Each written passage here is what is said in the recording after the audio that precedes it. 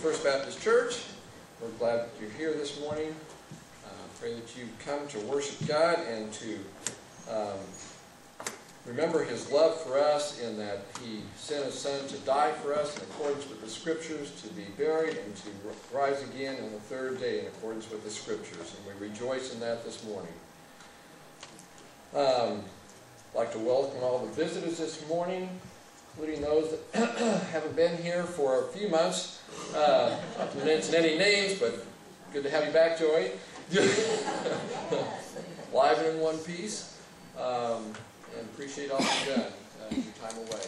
So, um, and it's good to have everyone else here too. Uh, don't forget to uh, fill out the red bulletin. Um, the red bulletin. That's close. The red booklet, the attendance booklet, and then uh, if you are visiting uh, on your bulletin, get my thoughts together here, there's a little addition here, flip, that, that we appreciate if you uh, fill that out, and tear it off, and put it in, into the offering plate as it comes by. Whew, boy, I'm sure if my time's ready for this morning yet or not. Um, so, uh, Hope you've had a chance to read the announcements, and are there any others? I think Jeff had an announcement he'd like to make.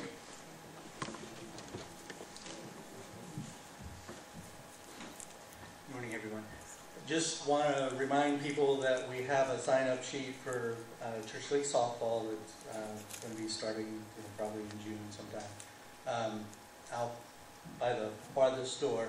Um, we're meeting in a, the coaches are meeting in the next uh, week or so to get that going. So it's coming along and we'd like you to sign up sooner rather than later so we can get an idea of how many we're having and how many teams we have. But if you're going into the ninth grade or older, uh, you're welcome to sign up. Thank you. I think I fit the and older part. okay. Um, now let's join uh, together and welcome those around you with the right hand of fellowship.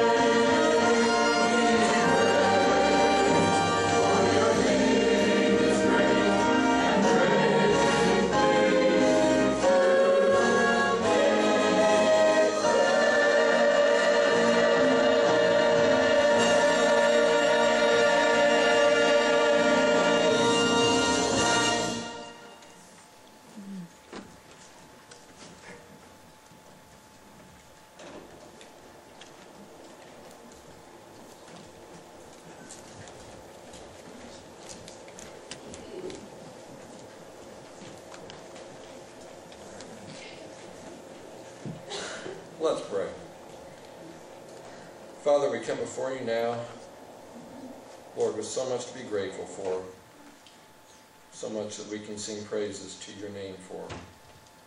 Lord, we thank you for the moisture that we've had recently, and, and Lord, we thank you most of all for your Son Jesus, who brought life into this world. And we just pray that you just bless now this offering, that we might give it joyfully to bring glory and honor to your name. Amen.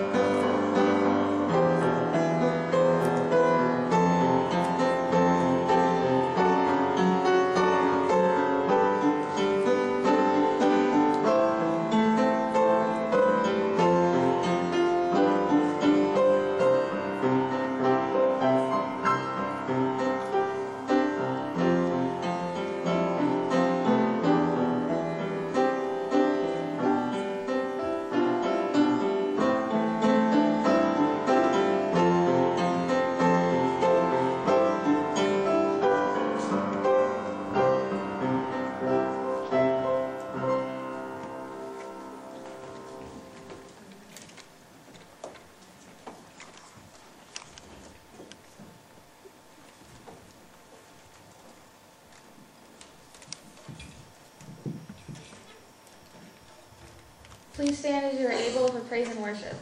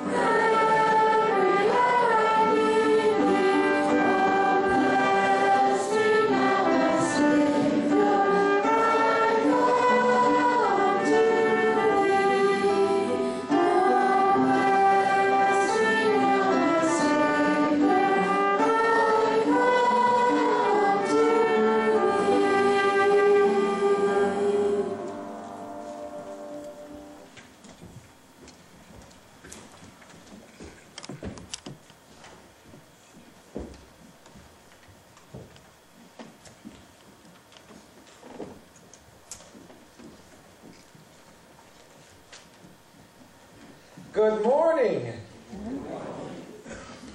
Well, we are, are, we are glad to be back in Clay Center. Um, as many of you know, uh, we were gone this past week to go and celebrate and honor my sister's memory, and I appreciate the many, many, many cards and thoughts and um, your graciousness in providing us with that opportunity. Um, we got back yesterday afternoon and then had a dance recital and then got up this morning and uh, of course some of you don't know that we left Danielle and Lucas back in Michigan. I said, that's it. Oh, she might watch this, so maybe I shouldn't say that. Hopefully she'll watch this. But she has not had an opportunity to spend any long-term time with her mother and father, and she's an only child in, in well over a, a decade.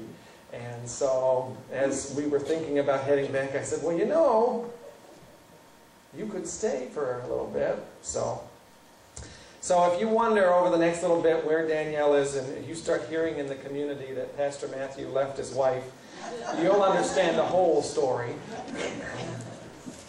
But we are glad to be back, um, get back into the swing of things.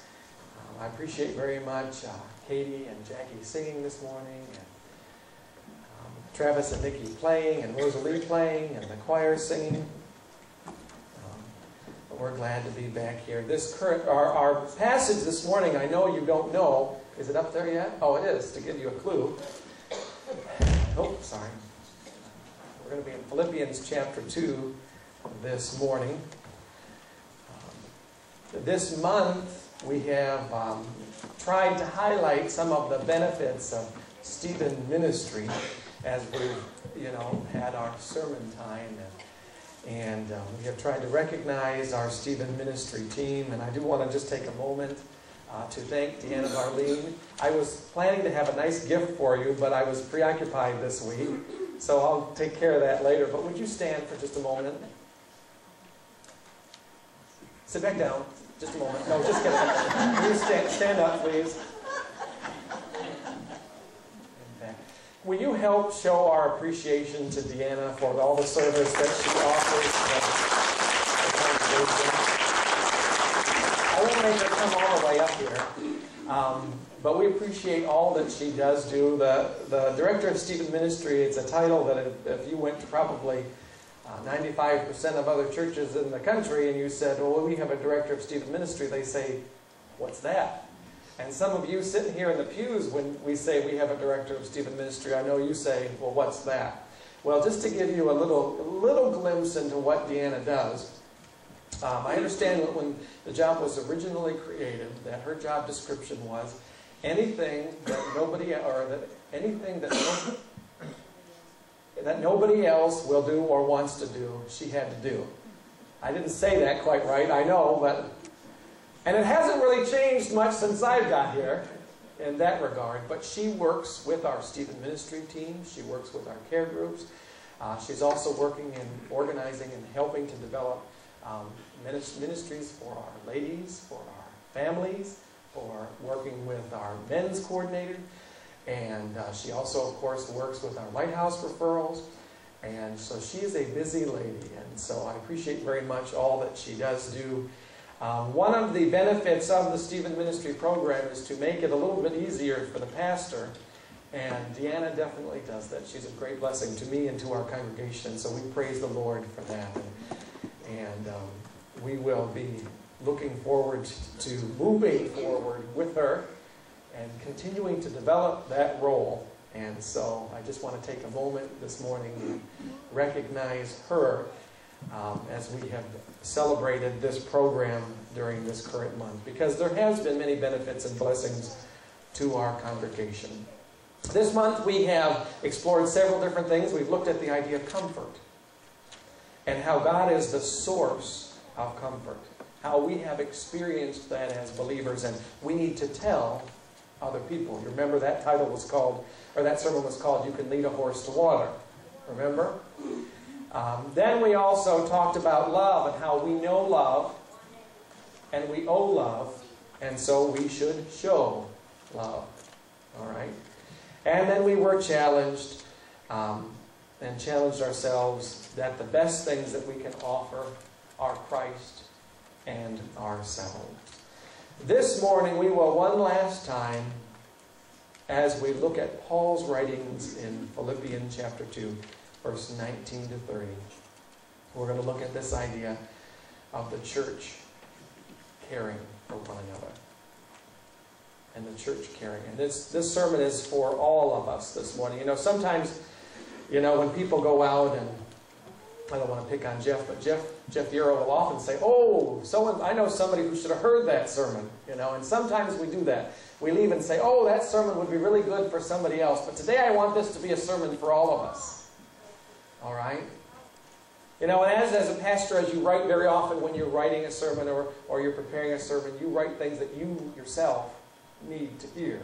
So if you're ever sitting in the pew someday thinking, man, he's stepping on somebody's toes, very often I'm stepping on my own toes. You know, I just have the notes so I can get them out from under my other foot before it falls. So when we're talking about caring about others, it's a message for all of us. It's a message for all of us. And in just a moment, we're going to read that passage in Philippians chapter 2. So hopefully you're finding, uh, finding it. Because um, I want to begin by sharing a, a, little story about this idea, um, the, this picture here that we're going to be talking about. It comes from a, a, Disney movie, and it's one of Lucas's favorite movies, and we never watched it until probably about four or five months ago. And ever since we watched it, we've watched it and watched it and watched it and watched it and watched it and watched it. And it's that movie Cars. Do you ever see that? Um, and, the, and, the, character in the, that movie is Lightning McQueen. Now, Lucas, for some reason, calls him uh, Bessie. Now, in the movie, there is a character, or it's a piece of equipment called Bessie, and he used to call him McQueen, but McQueen is now transi- transitioned into Bessie. And he has his Bessie cup and his Bessie plate, and they even have little pouches of Bessie fruit that you can buy. And so he loves Bessie.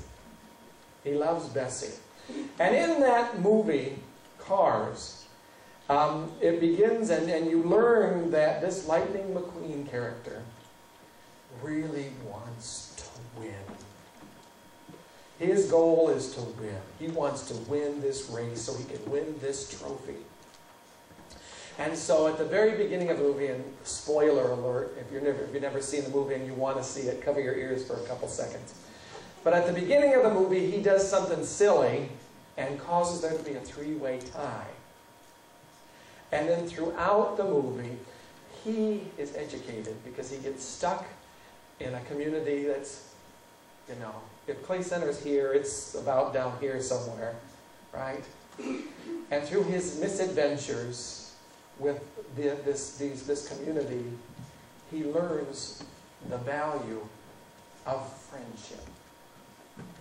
He learns that lesson. And so at the very end of the movie, when he's just about to win the race, he looks back on one of the television screens and sees that one of his competitors has um, spun out and has been in a crash, and it was a mentor of his. And what does he do? Right before the end of the race, he slams on the brakes and goes back to get that other car. Now, because of that, somebody else wins the race. But Lightning McQueen realizes that even though he lost the race, he still was the winner because he cared enough and he had these friends. And that really is the lesson for us because he and that other one, I think his name was the king, they crossed the finish line together. And by doing that, yes, he lost the race, but he gained so much more. You know, Solomon in Ecclesiastes chapter 4, verse 9 and 10, he wrote, Two are better than one, for if they fall, one will lift up his companion. But woe to him who's alone when he falls, for he has no one to help him up. We all get knocked down from time to time, don't we? We're not like those little toys that I used to have when I was little. They look like eggs, you know, the Weebles. They Weebles wobble, but they don't fall down. Now, some of us look a little bit more like Weebles than others, but we all fall down or get knocked down at times in life. But how wonderful it is when we have friends who care enough to lift us back up and to help us continue on. Well, hopefully you've turned to Philippians chapter 2, verse 19. I've given you plenty of time to get there. Let's stand and listen to the Apostle Paul. Because the Apostle Paul really is a great example of tender, a tender and compassionate friend. Philippians chapter 2, verse 19 to 30, it says this But I trust in the Lord Jesus to send Timothy to you shortly, that I also may be encouraged when I know your state. For I have no one like minded who will sincerely care for your state. For all seek their own, not the things which are of Christ Jesus. But you know his proven character, that as a son with his father he served with me in the gospel. Therefore I hope to send him at once as soon as I see how it goes with me. But I trust in the Lord that I myself shall also come shortly. Yet I considered it necessary to send to you Epaphroditus, my brother, fellow worker, and fellow soldier, but your messenger and the one who ministered to my need. Since he was longing for you all, and was distressed because you had heard that he was sick. For indeed he was sick almost unto death, but God had mercy on him, and not only on him, but on me also, lest I should have sorrow upon sorrow. Therefore I sent him the more eagerly that when you see him again, you may rejoice, and I may be less sorrowful. Receive him therefore in the Lord with all gladness, and hold such men in esteem, because for the work of Christ he came close to death, not regarding his life, to supply what was lacking in your service toward me. Let's pray. Heavenly Father, we are thankful for the opportunity to be here this morning. We thankful, we're thankful for um, the many prayers that have been said in preparation for this time. We're thankful for the time of Sunday school and fellowship. We're thankful for the songs and the time of giving, for the reading of your word. And Father, we just pray that you would be with us now, that you would speak to our hearts, that you would encourage us, motivate us, perhaps step on our toes. But we give this time to you and pray that you would work as you see fit.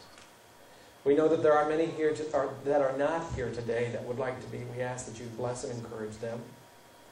But we do pray also for those that are here, that this would be a time of worship for us all. For you are worthy of it, worthy of our glory our honor and praise. In Jesus' name we do pray. Amen. You may be seated.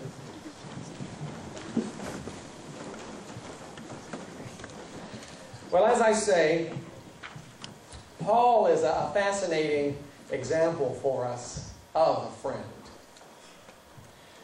Um, in fact, uh, someone has noted that there are more than 100 people listed as Paul's friends in the New Testament.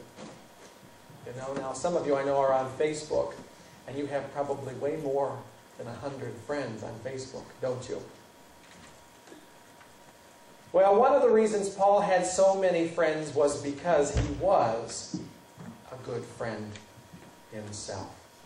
So this morning we're going to consider three very important lessons that we learn from Paul's writing to the church at Philippi.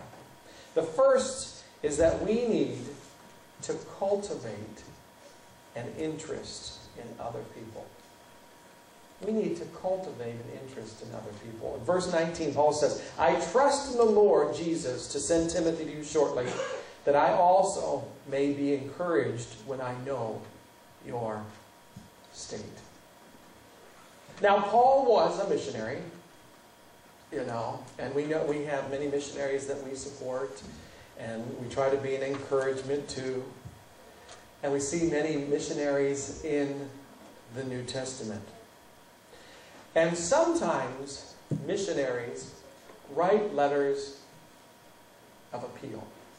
You know, Either they have a need for something, or there's um, uh, a need for finances, or there's a, a situation uh, that's going on in their particular area of, of the world. So it would be logical for Paul here to have written a letter. You know, he might have said something like, to Mr. and Mrs. Timothy Mayo. I'm in prison here at Rome, all right?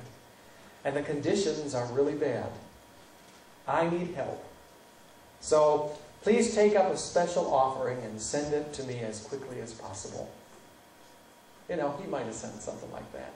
And you know, I just as a, as a note to, to warn you, sometimes people do send those notes and you always want to check them out.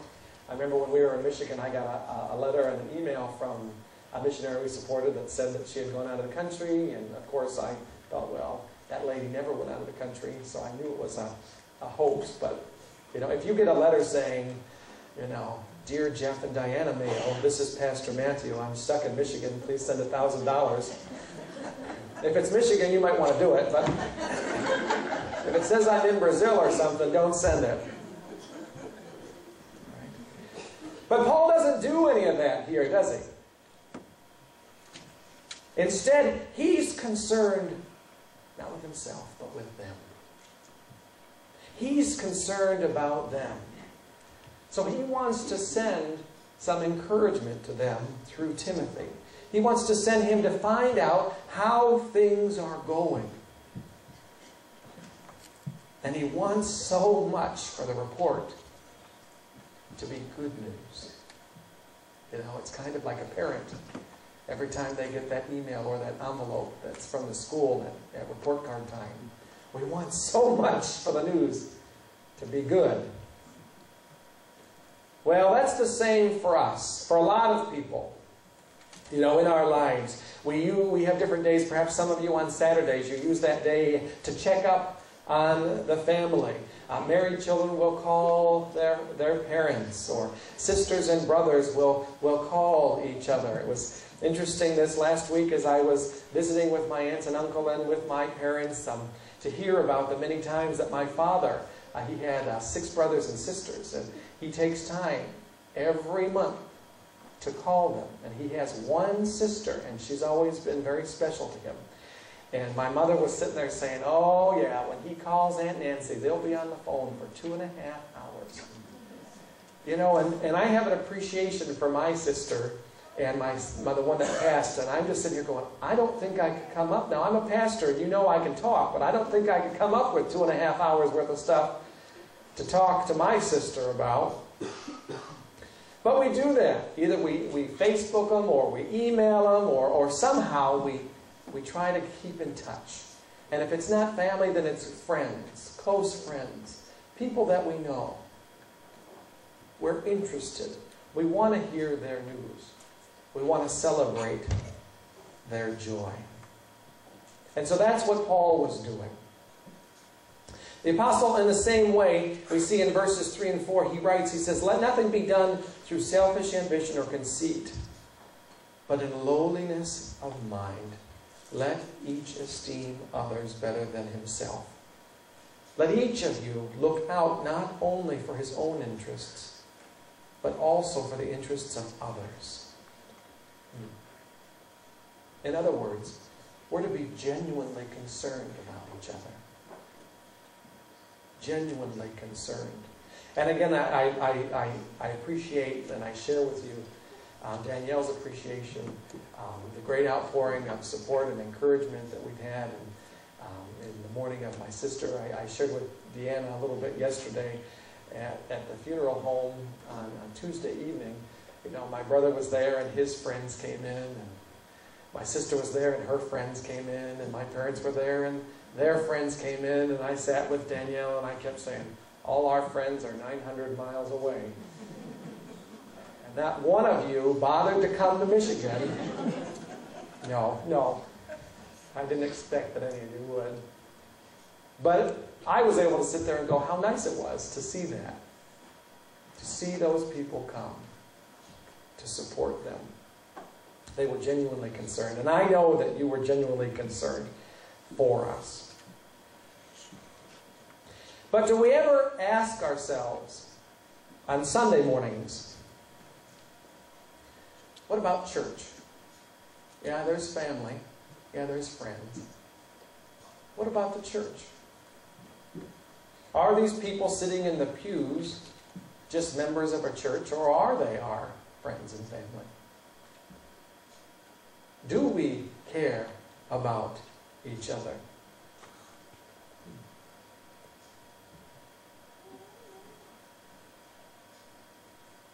What about it? A couple weeks ago, we asked ourselves, why do we even come here? Do you remember that?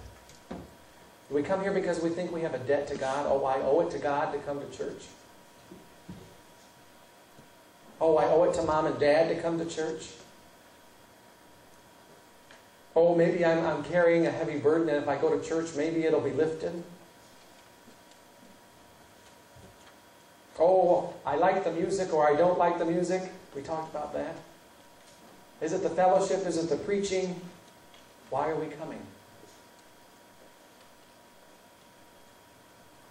Why should we? Well, if we're genuinely interested in, in one another, then this church should really be a training ground where we learn how to help each other. Where we're given opportunities to serve one another. When we reach out. Even if it's to people that aren't like us. You know, if, if you're a teenager and there's a senior citizen here that needs help, hey, you know what? You can help them. And the reverse, if you're a senior citizen and there's a teenager here that needs help, you can help them. They may not like it.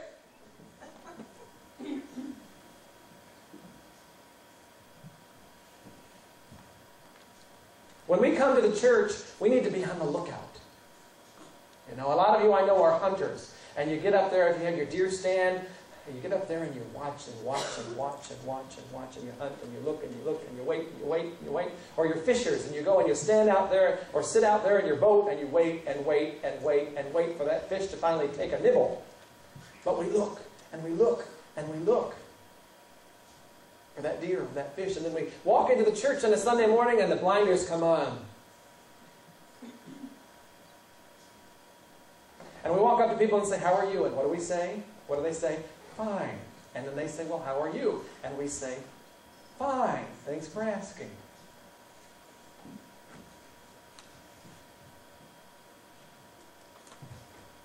But that's about the extent of it. We need to be on the lookout.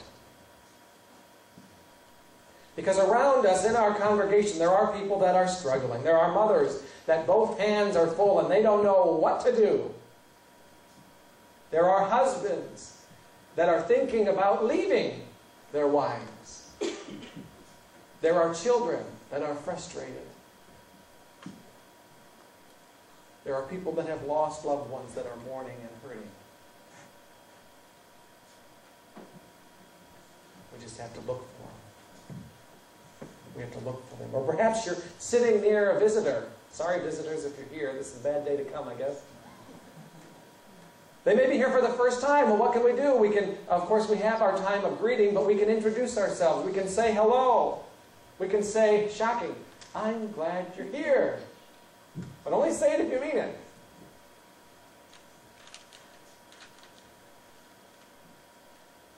We can take our prayer lists and learn about somebody who's going through a difficult time.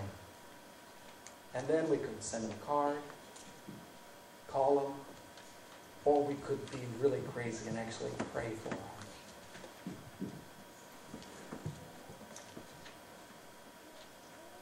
All around us. Now I realize and I praise the Lord, I know many of you are already doing those very things. And we give thanks to the Lord. I praise God for it. But you know what? You know who should be doing it? There's 140 of us here today. You know how many of that 140 ought to be doing that? 63? 104? No. Every single one of us.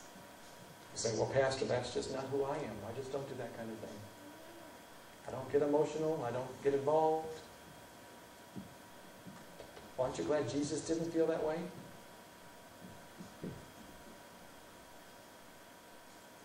Folks, we don't have a choice. We are called to do it. And yes, sometimes it's difficult, but we need to still do it. You know?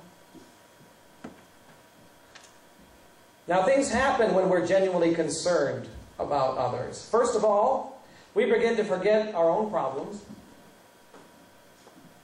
You know, and we seldom realize that. We think that when I'm having trouble, I need to, to deal with my own problems first.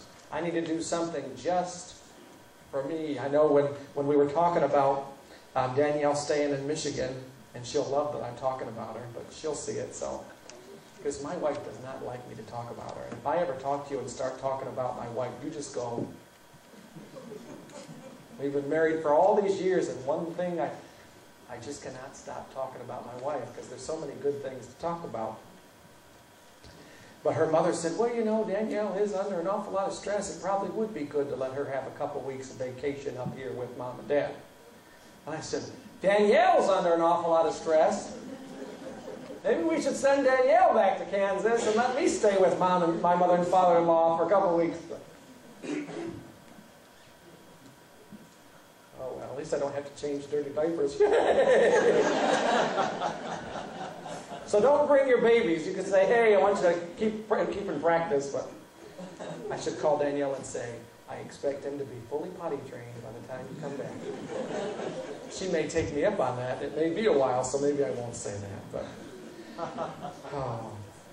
but sometimes we think it's all about us. I'm going to do something for me. I'm going to be extravagant. I'm going to be indulgent. But that's not the answer. The Bible doesn't teach us that. The Bible tells us that the quickest way to get rid of our own troubles is to become involved in helping someone else. The prophet Isaiah knew that long ago. Isaiah, oh. Isaiah 58. That's Jeremiah. 58, verse 10. If you extend your soul to the hungry and satisfy the afflicted soul, then your light shall dawn in the darkness, and your darkness shall be as the noonday. The Lord will guide you continually and satisfy your soul in drought and strengthen your bones. You shall be like a watered garden and like a spring of water whose waters do not fail. Those from among you shall build the old waste places. You shall raise up the foundations of many generations. You shall be called the repairer of the breach, the restorer of streets to dwell in. Whew, that sounds good. And that's what we are. That's what we are. Secondly, when we're genuinely concerned about others, we find that when we're in trouble, others will be good friends to us as well. So, the first thing that we learn from Paul's words here is that we need to cultivate a genuine interest in each other. Ooh, time is flying by this morning. I only had four pages of note and I'm done with one point, and I've been talking for 25 minutes. That's what happens when you send the pastor away for a week. All right, now the second lesson that we learn is that we need to offer sincere encouragement to others. In verse 20, Paul says, I have no one like minded who will sincerely care for your state. Paul's still talking about Timothy, and Paul had discipled Timothy and watched him grow in his faith. You know, it's so exciting as a pastor or a Sunday school teacher to see people growing in their relationship with the Lord. And sometimes it happens very um, dramatically, and you can see very dramatic differences in people in a short time. Other times it happens kind of slowly. But it's always exciting to take a step back and look at somebody and see, wow, God really does work in people's lives. And Paul was encouraging and celebrating that because he'd watched him grow. And now Timothy was at a point um, that he was in his own ministry. And Paul looks at him and says, um, really, he says something, I don't know anybody like I know Timothy. All right? In fact, the, the New American Standard Version of the Bible translates the verse to say, I have no one else of kindred spirit. Some Bible commentaries, commentaries have even suggested that it, it, it has the idea almost of the same soul. The idea of having the same soul as that Paul person. Paul is saying, Timothy and I have the same soul. We're kindred spirits. We're like minded. Now, I know we all have different levels of friendship with people. Even looking around this room, some people you're very close with, some people you're kind of have casual acquaintances. Maybe there's some people here you don't even know what their name is. But as we walk around our different days, you know, we, we don't have to think in our minds, do we? Well, this is somebody I know really well, this is somebody I don't know very well. We just automatically know that. The different experiences that we've had together, together um, the different things that we have done, the different things we've seen God do. And we've already kind of talked a little bit about that idea of casual friendships. Those ideas, those are those people that you just say, yep, I'm fine, you're fine. And then there's those other people that if they come to you and they say, how are you? You just spill it all. You just lay it all out there. You know, you just dump it all out. You know, some people, yep, yep, yep, yep, they come in and just, you know. Or maybe that's just me. Jacob and I, the other, no, I'm just kidding, but we do, we all have people like that. But that's not a casual relationship. That's somebody who we're close with. We enjoy spending time with, doing things together. It's a deeper, more meaningful relationship. And we share things that we normally don't share with others. But there are very few of those same soul kind of friendships. People that we're so close to, that we, we think alike, that we're motivated by the same thing. You know, and it's, it's scary to be around those kinds of people because they think so much like you. That they know what you're going to say even before you say it. You know, and I, and I love all of my children, uh, but Katie and I almost have that kind of thing, and it gets her not in trouble, but she can't get away with anything because I know exactly what she's thinking. She and I are very similar. You know, and you know, as the, the car trip home, you know, it just it, we were talking about some different things, and some of the things that she liked, you know, and some of the things she was like, well, that's not that's not right. You know, just oh oh oh. But when we'll have discussions, and you know what I mean by discussions, she can't even say things because I already know that's what she's going to say. Is it because I have special mind powers? I'll try him on Kimberly Mayo again. She's not thinking anything, I guess not. And it's not that. It's just we are so much alike. You know, and, and Danielle and I, in many ways, we are alike, but we, in many other ways, we're very different. And she always says, well, we're yin and yang, and that's true. She, she balances me pretty well. You know. And if you're blessed to have a spouse that is very, very similar to you, um, I guess that could be both a blessing and a curse. But, but Timothy here is talking about this, or Paul is talking about this idea of the, same soul. You know, those people you don't have to put on the act. You don't have to pretend. You can be who you are. Warts and everything. You can burp in front of them and they're not going to go, oh! You all know you burp. I've heard some of you burp. But, oh well. But Timothy writes that. And then in verse 21 he says, For all seek their own, not the things which are of Jesus Christ. And I think Paul here is presenting a contrast. He's saying most everybody else looks out for their own interest, but Timothy, Timothy's not like everybody else. He's special and he's interested in you. He's interested in you. We need friends like that, and we need to be friends like that. Someone who will pick us up when we fall. They will brush us off. They will hold our hand and go with us as we go toward the finish line. Well, there's one more lesson here. We need to learn and we need to practice an unselfish release. Verse 25 begins the story of Epaphroditus. And Epaphroditus was a member of the church in Philippi. And the church was a, a strong supporter of the Apostle Paul. All right? So when they learned that Paul was in prison, um, they sent Epaphroditus to be with him, to be a source of encouragement and assistance to him. But Epaphroditus wasn't able to help very long because why? Because he became seriously ill. He became sick, and in fact, he almost died.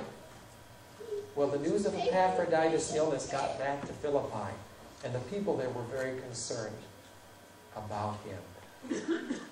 All right? And so Epaphroditus became distressed about their anxiety for him. You know, and we all know people like that. They're worried because you're worried about them. You know, very often moms are like that. That's why they don't tell us things. They don't want us to worry. Well, it would have been easy for Paul to say, well, Timothy's leaving, and now um, you want to go too. What am I supposed to do here in prison all by myself? You know? Who's going to help me? But instead, Paul writes to that church in Philippi. Philippi says, No, I'm sending Epaphroditus back to you. I'm sending him back to you, and I want you to welcome him. All right, and encourage him. Because he almost died for the cause of Christ. He almost died for the cause of Christ. A friendship that is really a friendship will release. It'll let us go. It won't be selfish or that smothering kind of love. You know, we all know what it feels like to be smothered. You know, somebody that's kind of sitting over your shoulder all the time. That's not what we ought to be doing as friends. You know, husband and wives can sometimes do that. Parents can sometimes do that too. But there comes a time in every home when we need to let people go. We need to let them go. You know. I'd like to tell you that that's the end of the story, but it really isn't. You know, over in 2 Timothy chapter or verse yeah, chapter 4, Paul is in prison again, and the circumstances are very different this time. His friends aren't there. I don't know where they are. Maybe they're too far away to get to him. Maybe they're in prison, or maybe they're dead. Or maybe they just got tired of coming to prison to see Paul because he was arrested a lot. But Paul writes these words in 2 Timothy chapter 4, verse 16 and 17. It says, At my first offense no one stood with me, but all forsook me. May it not be charged against them. But the Lord stood with me and strengthened me, so that the message might be preached fully through me, and that all the Gentiles might hear. Our best friend is Jesus, if we believe in him. He will never leave us, he will never forsake us, and when we fall, he will pick us up, he will dust us off, and he will hold our hands as we race toward that finish line. Kind of like that Lightning McQueen character did in the movie Cars. He went back, he didn't finish the race without him. This morning, as we celebrate friendship, as we celebrate Stephen ministry, as we are challenged to be those kind of friends, let us always remember that we have a friend and his name is Jesus. And if he's not your Lord and Savior today, he can be. He can be. If he's not your friend today, let us introduce him to you. After all, that's what we're here for. Because he stands ready to meet you and to meet every need in your life. To forgive all of our sins. And to give us a promise of everlasting life. All He asks is that we come. Will you come today? Let's pray.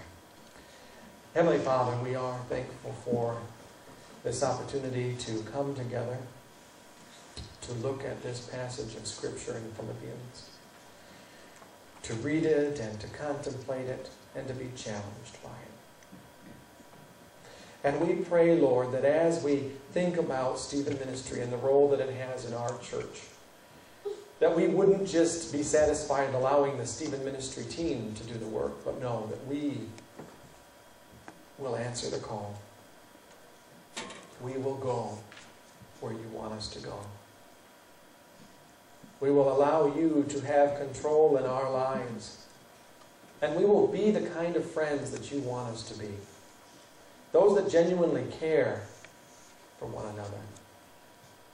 Those that have a deep relationship and those that are willing to let each other go when the time comes. That we will not hold grudges against one another. Father, we pray that any that are here today that don't yet know you as their God, that have not yet accepted Jesus as their Lord and Savior, that this would be the day that they make that choice.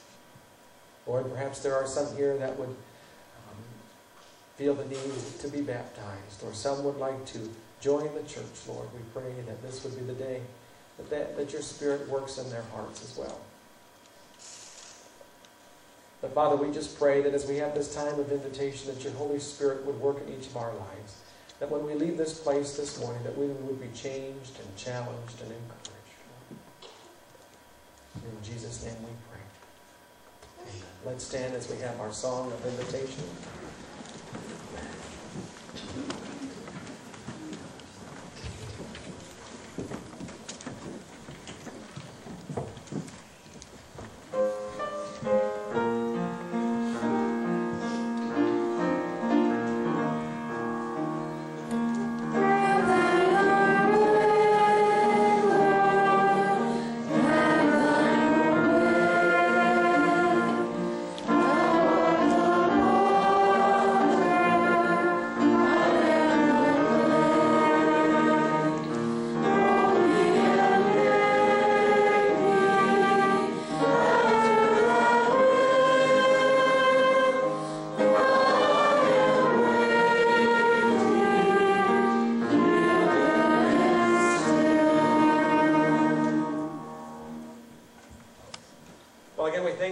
Coming this morning. I do want to let you know that there's an opportunity this afternoon. I think it's 2 o'clock at the Wesleyan Church. There is a concert of several men from the community are going to be singing songs. Um, and it's a fundraising event for the American Cancer Society for the Relay for Life. So if you are available this afternoon and would like to um, attend that, you are invited to do so at the Wesleyan Church. And also, I would like to share with you that I, uh, this is short notice, I know, but we're not going to have Sunday evening service tonight. I know we didn't have it last week, and just getting back and everything, uh, I beg that you would allow me to have one more week without it this evening. Irene, I know, isn't here this morning. Do continue to pray for John. They're home from the hospital. Um, so we're going to cancel our Sunday evening service as well. Um, but let's be dismissed with prayer. Heavenly Father, we are thankful for the opportunity to come together this morning. We pray that you would go with us now as we go to our home or other destinations. We'll give you all the glory, honor, and praise. In Jesus' name we do pray. Amen.